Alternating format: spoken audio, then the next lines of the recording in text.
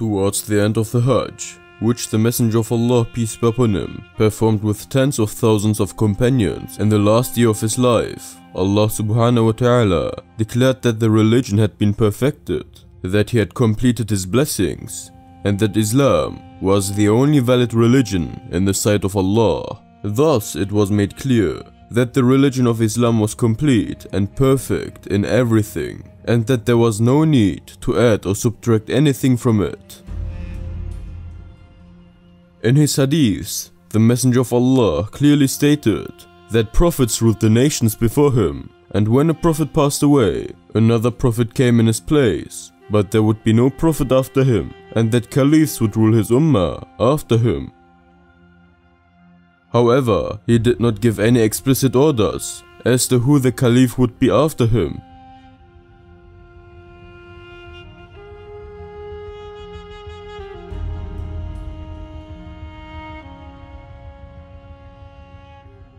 The calendars showed the year 632. On the 27th day of the month of Safar, the Messenger of Allah, peace be upon him, began to have a headache. After a few days, the disease progressed. The companions were very upset. Upon hearing this, the Messenger of Allah addressed his companions as follows. O my companions, you are worried about my death. Has any prophet ever stayed forever among his ummah, so that I may stay forever among you? Know that I will meet my Lord. The prophet's illness was progressing. Normally, the Messenger of Allah would lead all the prayers. However, three days before his death, his illness became more severe. Since he could no longer go to the masjid, he asked Hazrat Abu Bakr to lead the prayers. Hazrat Abu Bakr led the companions in 17 prayers, while the Prophet peace be upon him was ill. This was interpreted by the companions as a sign that Abu Bakr radiallahu an would be the caliph after the Prophet.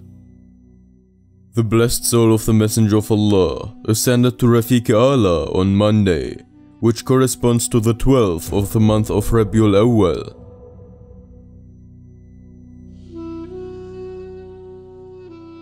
When the news of the Messenger of Allah's death was heard among the companions, the companions began to burn with the pain of separation. Hazrat Ali did not know what to do out of astonishment. Hazrat Umar took his sword in his hand and cried out that he would strike the neck of anyone who said that the Messenger of Allah was dead. Hazrat Uthman was speechless. Hazrat Bilal could not recite the call to prayer Everyone's lungs were burning. This was an indescribable pain. At this moment, when the companions did not know what to do in these feelings, Hazrat Abu Bakr ascended the pulpit of the mosque and made the following speech.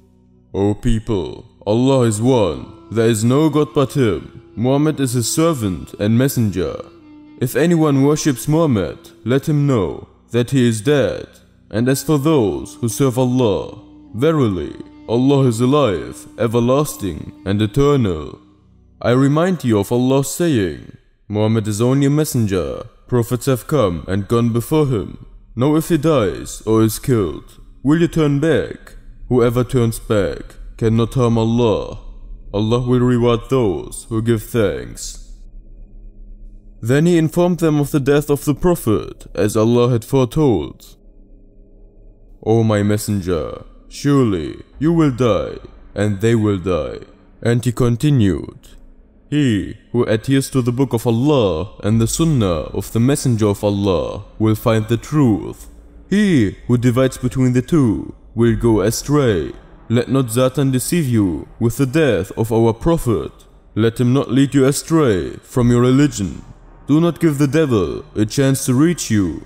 These words calmed those present and gave comfort to everyone. Hazrat Abu Bakr's reminder of this verse was like a wake-up call for all the companions. Hazrat Abu Bakr thus performed a very important duty. The hypocrites wanted to create mischief by taking advantage of this turmoil. The issue of who the caliph would be and how he would be chosen could have caused many conflicts. The companions, who thought that if the Islamic State remained headless for a long time, Islam and Muslims would suffer great harm, agreed that the matter should be resolved as soon as possible and should not be delayed. In this respect, on the one hand, while the burial of the Messenger of Allah continued, on the other hand, some of the companions started to work to determine the Caliph. Hazrat Abu Bakr left the funeral arrangements to Hazrat Ali and went to the companions who were discussing the selection of the Caliph. As a result of this meeting, a consensus was reached that Hazrat Abu Bakr should be the Caliph. The next day, the companions gathered in the mosque and pledged their allegiance to Hazrat Abu Bakr.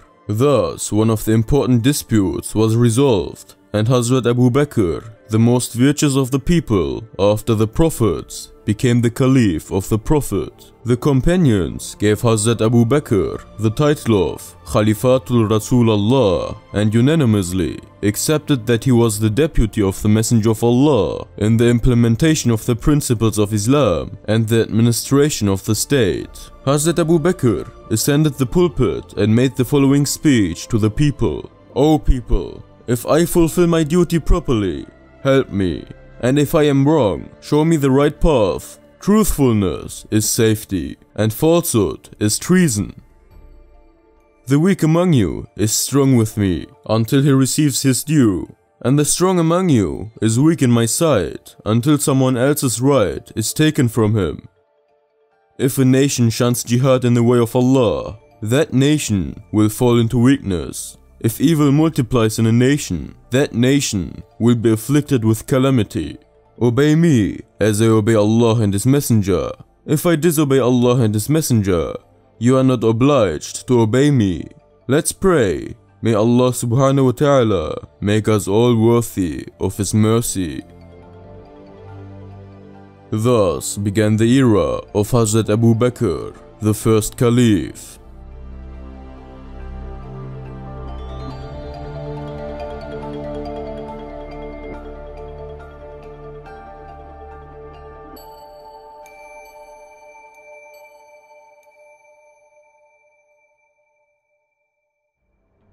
Before his death, the Prophet peace be upon him had prepared some of the army under the command of Hazrat Usama to march to Muta.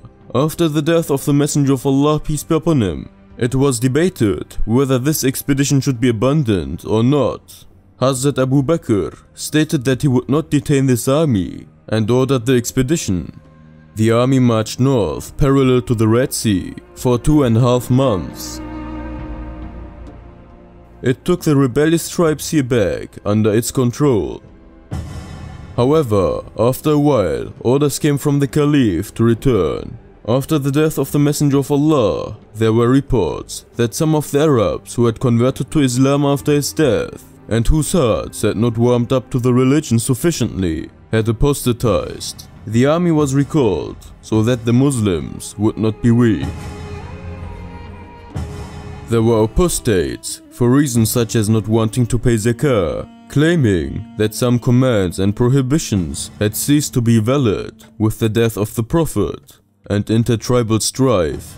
There were also false prophets. These revolts spread throughout Arabia except Mecca, Medina, and Taif.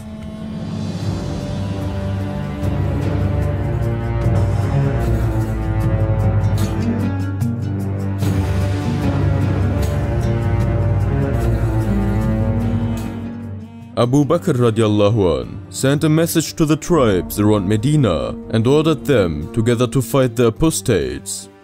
Gradually, the army of the caliphate was being formed.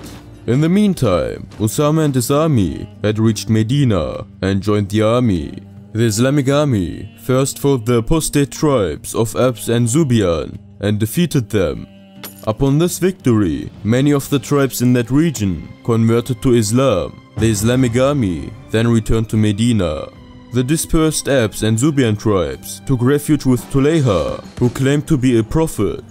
Tulayha moved with his army from Sumaira and headed towards Buzaha, where he established his headquarters.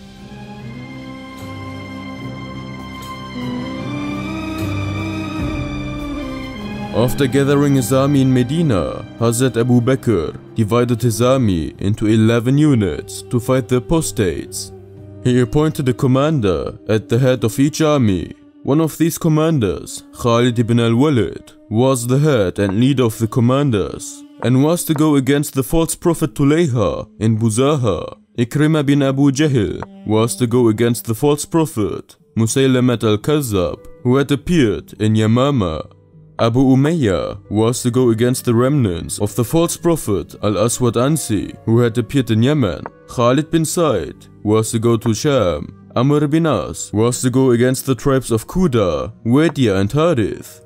Hudayfa bin Muhsin was to go to Oman. Arfajah bin Harsama was to go to Mahra.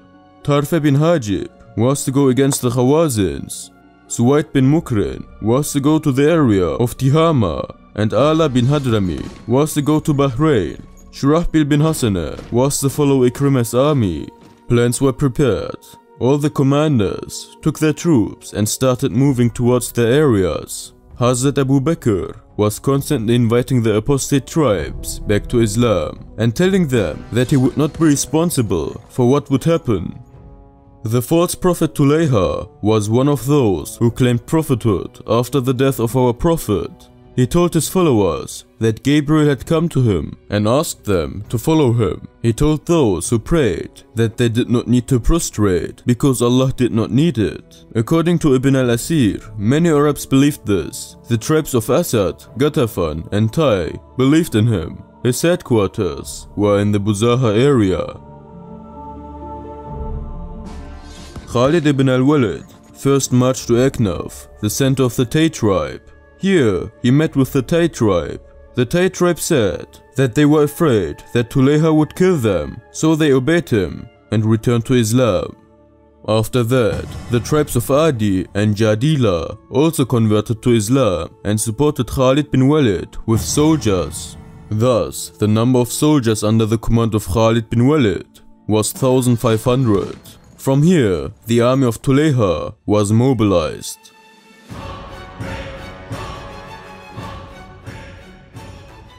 Eventually, the two armies came face to face and Khalid bin Walid won a great victory.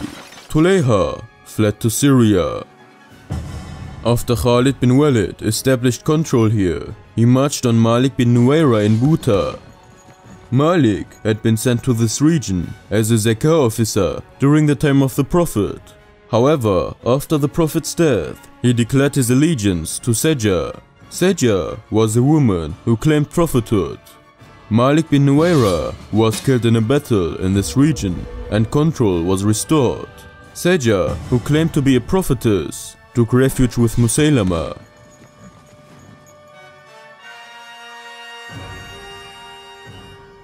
Musaylama was one of the other false prophets. He claimed to have received revelation from an angel named Rahman. He had no difficulty in finding followers because he abolished the obligatory prayers and said that drinking and fornication were permitted. Abu Jahl's son Ikrimah was sent to this region, but this army was not successful against Musaylama and withdrew. This was because Musaylama had a large army of 40,000 people at his command. Hazrat Ikrimah, who had to retreat, was waiting for the arrival of Khalid bin Walid.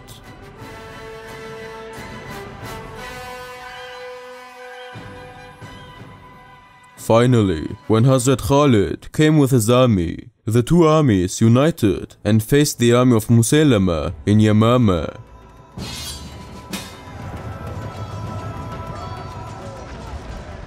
At first, it seemed as if the Musaylama army was victorious. At one point, they even managed to enter the tents of the Muslims, but then the situation changed. The companions showed unprecedented patience and endurance in battle that day. Finally, Allah subhanahu wa ta'ala granted them victory. The apostates turned their backs and began to flee. The Muslims began to pursue them.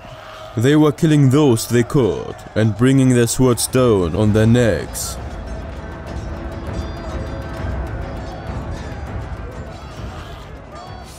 Then, Musaylama and his army retreated to their castle. The walls of the castle were high, so no one could enter. The Muslims could only lay siege to it. Then Bara bin Malik radiallahu an, one of the companions, proposed something unthinkable. He said, Wrap me up in a cloth and throw me into the garden. The Muslims, who were surprised at first, did as he said as night fell. They wrapped him in a cloth and threw him into the garden. Hazrat Bera had just fallen behind the gate of the city wall. He immediately stood up, neutralized the guards at the gate, and opened the gates.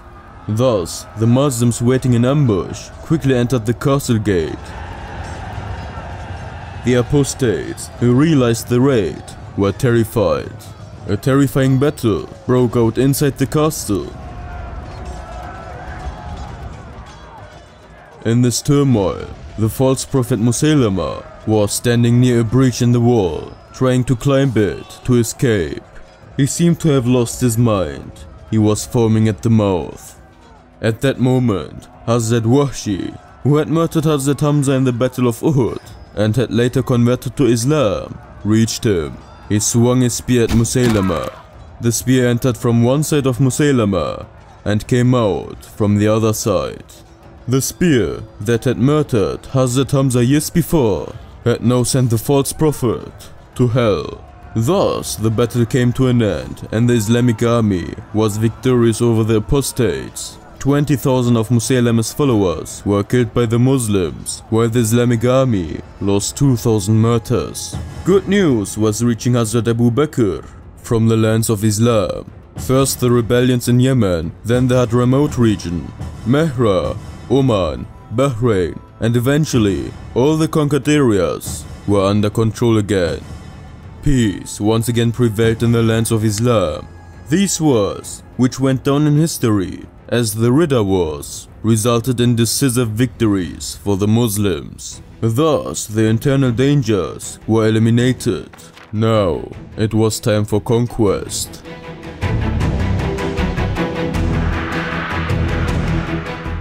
That's the end of another video. More videos about historic battles will be published soon, so please consider subscribing and pressing the bell button to be informed about them. By liking, commenting and sharing the video, you can support us a lot.